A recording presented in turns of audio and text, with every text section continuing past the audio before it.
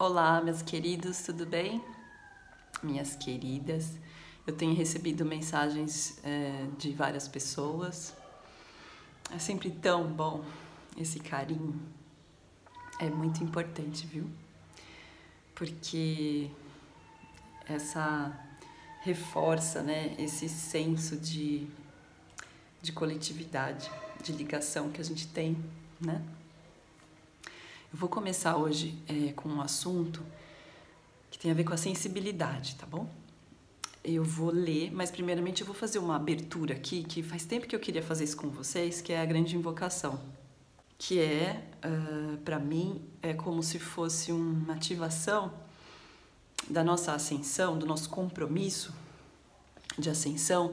Então, antes de qualquer conexão, qualquer o meu trabalho mesmo, do dia, de manhã, eu já faço a grande invocação quando eu sento e vou começar o meu dia no trabalho, tá? Seja atender, seja pintar.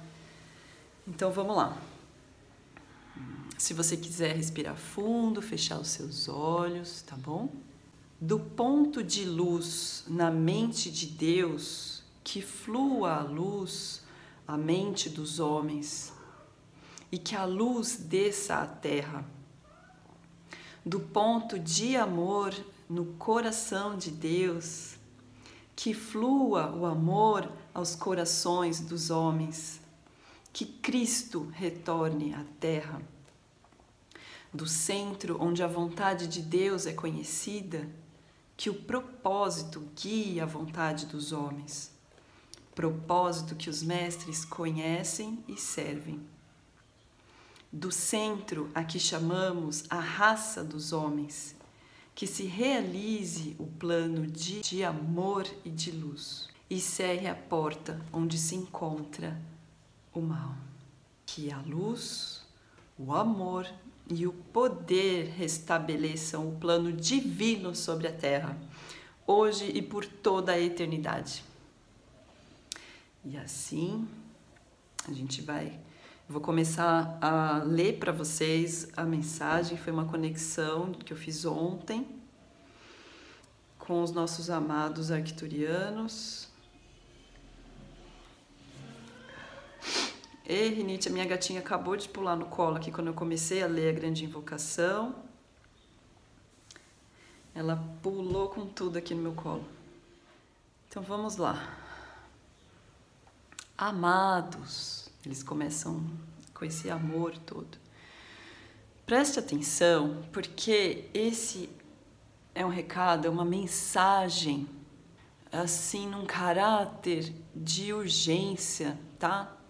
Porque há muitas almas sensíveis encarnadas que estão ainda emaranhadas em emoções muito difíceis, é, muito densas, emoções que fazem com que eles desistam, eles se entreguem aos seus vícios, é, às ilusões, por falta de autoconhecimento.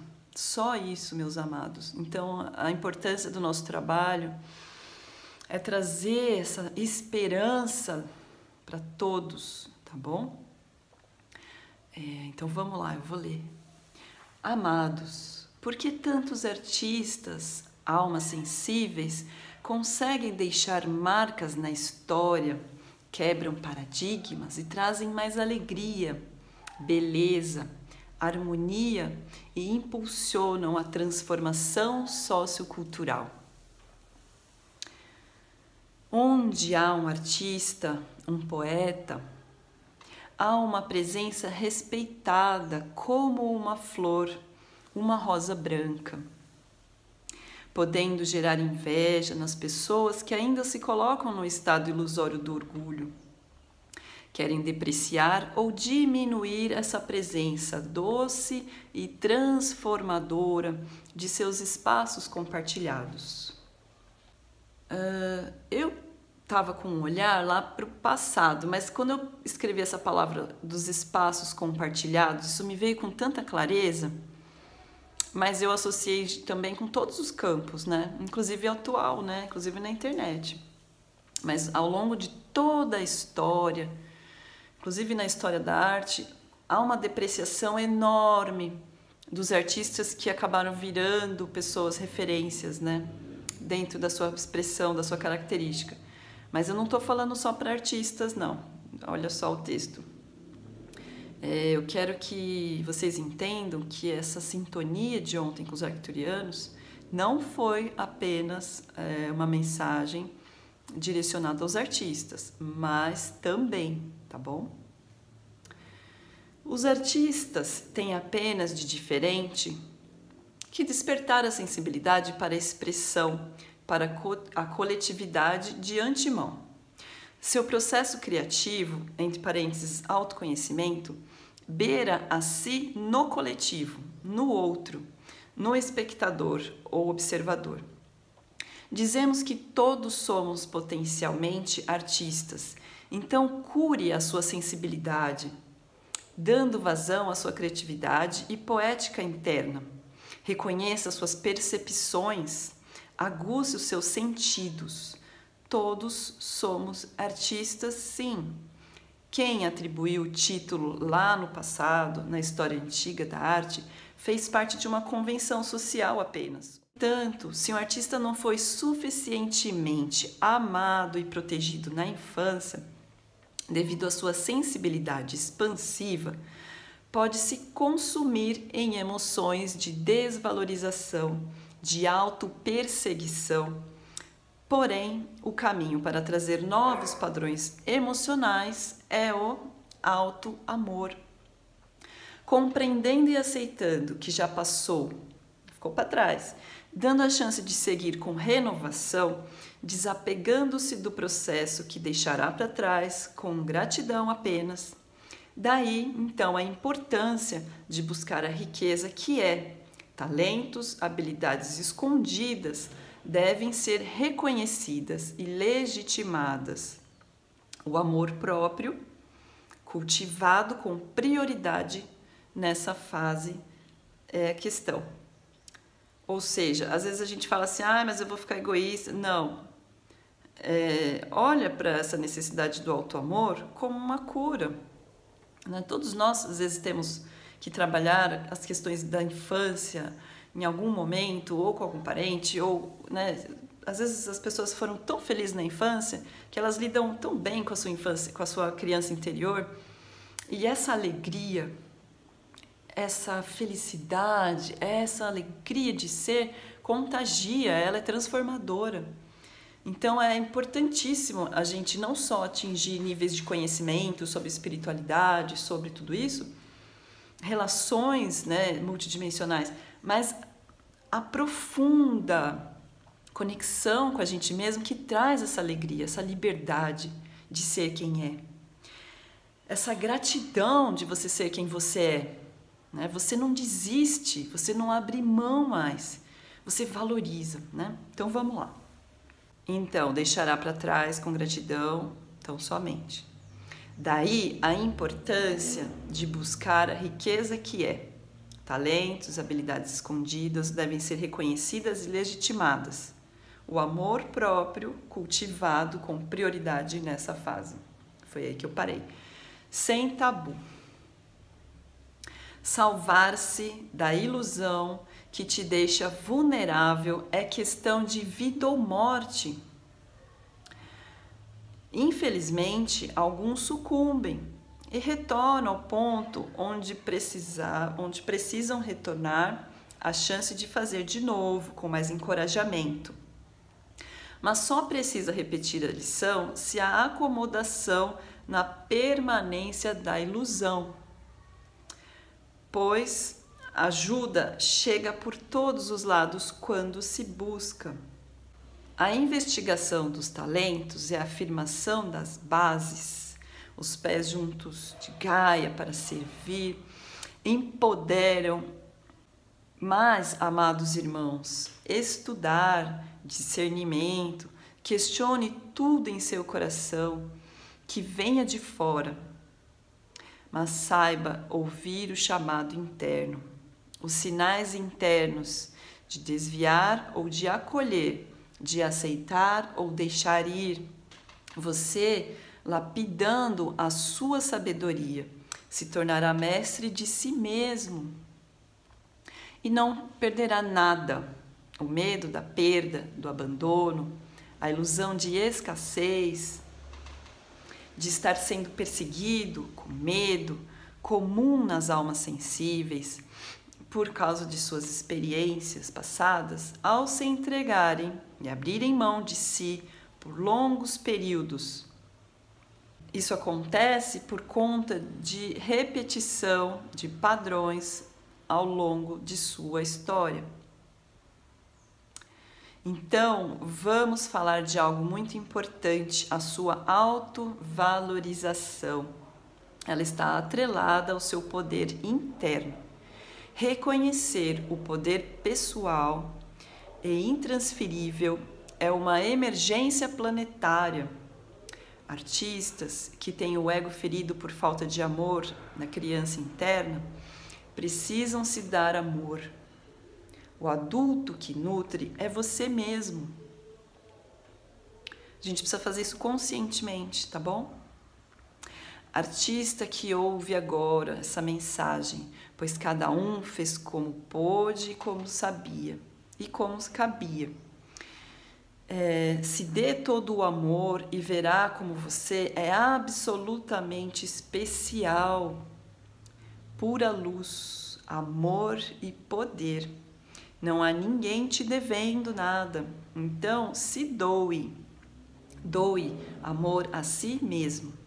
Ajude, abra-se para o coração receber de si. Doar a quem precisa da sua imensa experiência e bagagem. Não fique na ilusão da falta. Todos os tabus em torno de si são ilusões. O nível de liberdade e autonomia geram a realização, não havendo buracos a ser preenchidos. Dessa forma, as lacunas transbordando amor e alegria. A vida com verdadeiro sentido passa a te carregar com leveza e confiança. Confie. Se precisar ainda de auxílio, Peça para quem sentir, para quem sentir verdade e intenção alinhada com você. Mas não carregue mais o fardo da ilusão, do desamor, pois o amor é abundante e é disponível. Sintonize. Ele está disponível, né? Artista, você é um agente transformador. Você que não é artista, vê-se como um burilador de alma humana, você é agente transformador. Você que se sente apaixonado pelo saber, pela natureza, pelo mistério da vida, pelo mundo pacífico, sabe respeitar a individualidade e valoriza isso. Não se compare, pois não há parâmetros para seres conscientes de sua singularidade. Você é um agente transformador. E saiba que os trabalhadores da luz precisam muito de você, de sua atuação singular.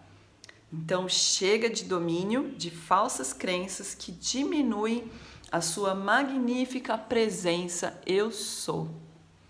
Tá bem? Foi aí que eu encerrei essa conexão eu fiquei com um sentimento é, profundo de transmitir para vocês com muito amor, é, porque quem não conhece uma história né, de um músico, de uma escritora, pessoas que lidam muito com a sensibilidade humana, e que entregam todo o seu amor, o seu melhor, né, nesse fazer, que sucumbiram na vida, né? Quantas pessoas faleceram no meio de suas carreiras brilhantes por falta de autoconhecimento, de reconhecer a sua própria força, a sua luz. Então, nós chegamos num momento de expansão, de consciência, onde a gente está retomando o nosso poder interno. O nosso poder até então era algo quase diluído na sociedade. Então a gente não conseguia ver, fazer esse ancoramento com a nossa própria força interna, nosso gigante interno, que é o nosso eu superior e que vibra numa frequência mais alta. Então, ele está o tempo inteiro ativo dentro do nosso coração. Mas, enquanto a gente continua no emaranhado das emoções de baixa frequência, quais são essas emoções de baixa frequência? Desânimo, tristeza, desilusão, dependência emocional, é, escassez, depreciação, né? culpa. É, a culpa são todas coisas que a gente, todas esses, essas emoções, elas são desconstruídas, elas são ilusão. Elas são apenas é, botõezinhos de autoconhecimento, porque quando a gente aperta o dedinho nelas, elas não, nos mostram algo muito melhor de nós mesmos. Elas nos apontam para um caminho de que a gente já mudou, já expandiu um pouquinho. E de que nós somos, sim, é, cheios de esperança, porque a gente sabe aqui no fundo o que a gente tem para oferecer para esse mundo e a gente tem gratidão porque a gente sabe que esse planeta é maravilhoso. Quem olha para a natureza e vê nela uma professora, uma mãe, sabe que não pode negligenciar tudo isso. A gente não pode negligenciar que tem um sol. E esse sol, ele é responsável pela vida. E isso é fantástico. Então, para a gente sentir essa gratidão de ser quem somos, estar onde estamos, nesse nível de consciência, né, que a gente está aqui, parece que isso, isso é um local, mas isso é uma face, é uma dimensão onde há uma estrutura de organização dentro das leis universais, onde a gente se expressa, se manifesta. Então a gente pode mudar o tempo, a gente pode mudar a sensação que ficou do passado. Como que a gente faz isso? A gente não deve se identificar com a nossa história como se a minha história tivesse que estar tá aqui agora no meu presente. O que eu tenho que estar tá aqui no meu presente sou eu. São os meus potenciais e o que eu desejo viver. Então, se você olha para a sua vida e fala, não gosto do jeito que eu estou vivendo, não traga para o presente. Não traga. Você não é a sua história, você não é o que está acontecendo aqui e agora que não te deixa satisfeita.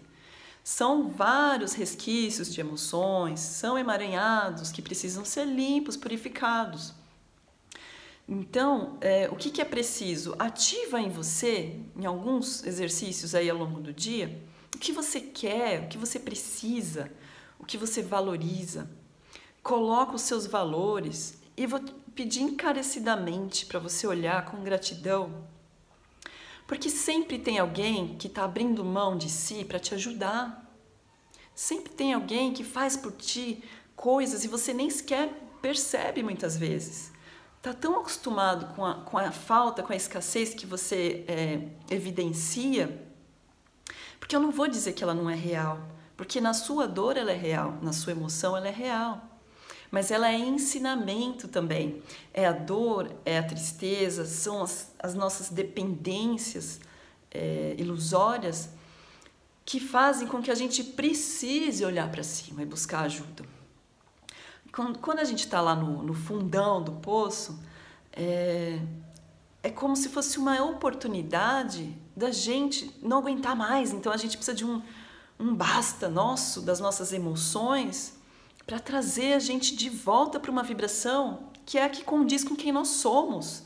Se nós somos divindade, porque somos criaturas né, do todo, que tem potência de amor, que é altíssima frequência, então nós temos que entrar em contato com essa luz. Não sou eu falando que vai te dar essa certeza. Essa certeza está aí no seu coração. Então, se você já experimentou momentos de alto padrão vibratório, você sabe disso, você sabe que esse estado natural, amoroso, é o melhor lugar em termos de consciência. Então a gente chama de quinta dimensão, não é um espaço, é esse estado de amor que está acima do julgamento do bem e do mal. É um estado de pureza, de contentamento, de alegria de ser quem você é. E quando você é quem você é, você não precisa lembrar de ter gratidão, você sente a gratidão. Você não precisa comprar nada para se fazer feliz, porque o sentimento daquilo que te faz feliz quando você compra, você pode conectar com esse sentimento a qualquer momento. Entende isso? Eu não preciso trabalhar uma vida inteira para conquistar uma, um, um sentimento. Eu acesso esse sentimento. Tem gente que, infelizmente, perde anos e anos e anos numa ilusão de que quando conseguir comprar determinado objeto, determinada coisa, vai ser feliz. Vocês sabem disso, né? Então, às vezes é começar com o que tem. A maior dificuldade das pessoas que vêm procurar para fazer processo de ativação terapêutica do eu sou, que é esse trabalho que a gente faz, ou da geometria sagrada, é por não conseguir enxergar no aqui agora, agora, o que eu posso fazer, o que eu vou mudar, o que, que eu preciso de movimento. Mas o movimento é algo extremamente simples. E quando você começa algum movimento, no sentido do que você realmente quer, tudo começa a se mexer em volta, tudo começa a se harmonizar, tudo começa a se redefinir de acordo com quem você é, de acordo com o que te faz feliz. Então, conhecimento é super importante para você chegar no que é mais essencial, que é um estado de amor com você mesmo. Porque não tem como a gente ajudar, amar, olhar para o outro se a gente está num estado de alarme, um estado que é urgente. Então, não deixe de se fechar um pouquinho aí por algum tempinho, porque você precisa se olhar. Às vezes você cuida de alguém que precisa tanto de você. Então faça isso em algum momento, nem que seja na madrugada. Né? Eu sei como é que é você não ter tempo de, de se cuidar. Eu tenho bastante propriedade com isso. Eu amamentei muito, muito, muitos anos. Eu estava exausta. Mesmo assim, a gente precisa de uma horinha, porque nessa conexão a gente vai ganhar energia, força e lucidez. A gente precisa de lucidez para atingir o nosso poder. Durante muitos anos a gente foi levado pela sensibilidade, pelo amor, pelo bem-querer, pela compreensão, pela empatia. E em determinado momento a gente não viu o nosso poder, a gente não acessou essa ligação, esse ancoramento com a experiência aqui na Terra. A partir do momento que eu percebi, parei de fazer aquela sofrência, aquela vitimização, porque eu tô aqui na Terra e não sei o quê, passei a olhar e honrar essa terra, olhar esse chão, olhar essa cidade, olhar para esse céu, né? A natureza, a gente em qualquer lugar que vai tem o céu. A gente tem esse céu em cima da gente.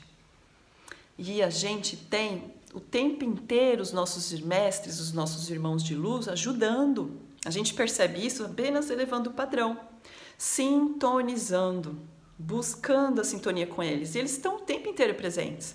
A gente é que não está na sintonia, mas eles estão o tempo inteiro. Por quê? Porque a gente não tem só um compromisso com essa, né, o propósito, ah, eu sou artista, eu sou não sei o quê.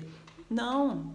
Nosso propósito é de alma, é olhar para todos os talentos. Não foi à toa aquele curso que você fez na infância, não foi à toa aquela experiência que você teve na rua com um amigo, não foi à toa é, que você escolheu fazer aquela faculdade, que mesmo não gostando muito, você aprendeu algumas coisas importantes e você sabe pontuar o que foi importante ali. Não foi à toa que a gente passou necessidade, não foi à toa que a gente teve falta de alguém na nossa vida, perdeu alguém, entre aspas, né? Então, toda e qualquer experiência de dependência, qualquer que seja, não é à toa que a gente passa por essas experiências. Elas nos trazem propriedade, elas nos ferramentam, porque o nosso propósito com a vida é o coletivo. Então, quando a gente vai se conscientizar disso, que toda a minha experiência, minha bagagem, não serve só para mim. Não serve. O grande sentido da vida é ser quem eu sou, olhando pra, para todos o que eles são também. Então, o grande sentido da vida é a conexão com quem nós somos, e essa conexão nos leva a sentir que somos todos conectados, somos todos um. Se você não está bem, eu também não estou bem 100%, entendeu? Se você não está vibrando amor pelo nosso planeta, o nosso planeta não está vibrando amor absoluto. Se há guerra lá fora, há guerra aqui dentro. Essas são as leis naturais. O que está dentro está fora, o que está fora está dentro. Então, se a gente ainda vibra nesse pulso, nesse ritmo, a gente precisa sentir esse ritmo e nos colocar onde a gente pode melhor servir. Quando eu falo servir, é estar correspondente com a sua essência, legitimando quem você é, pelo amor de Deus. Eu não estou falando de você ficar servindo, servindo sem sequer saber por quê. Não é você ir para um, uma instituição que tem uma, uma oportunidade de um trabalho voluntário. O seu servir é lá também, mas é também onde é o seu trabalho, onde você recebe o seu dinheiro, onde você auxilia na sua família. É o tempo inteiro essa troca, esse dar e receber. A gente vai falar ainda sobre coisas que ainda são tabu. Bom, a gente tem muito assunto para tratar ainda, né? é, falar muitas coisas, muitos tabus. A gente vai conversar ainda sobre dinheiro, sobre sexualidade, sobre as relações sociais, culturais, muitas coisas, e espiritualidade, mediunidade também, tá bom?